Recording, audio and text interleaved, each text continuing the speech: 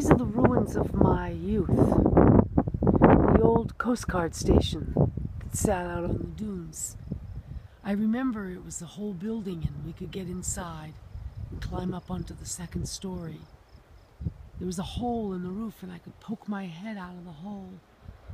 And there was a little pink dot in the brown roof shingles that I imagined people could see. And I had seen other faces peeking out of it from miles away. And now, this is what's left.